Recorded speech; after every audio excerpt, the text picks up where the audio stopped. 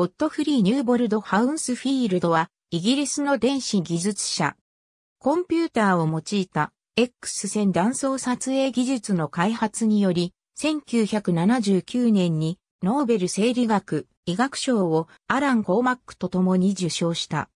1963年と1964年にアラン・コーマックの CT の研究理論発表をもとに英国 EMI 社にて同僚と共に脳コンピュータを用いてデジタル処理し断層撮影する装置を開発した。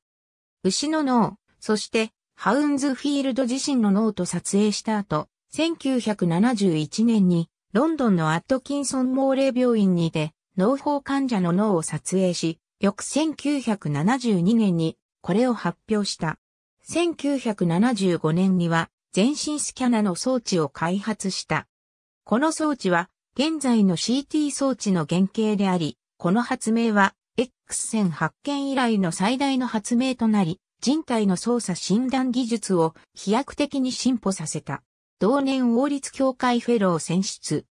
ハウンズフィールドの名は、現在の CT 値の単位として、ハウンズフィールドナンバー、または、ハウンズフィールドユニットとして使用され、この値はマイナス1000風を空気、冷風を水とした吸収率の相対値で定義されている。プラス1000風を骨とする記述をしばしば見かけるが、誤りである。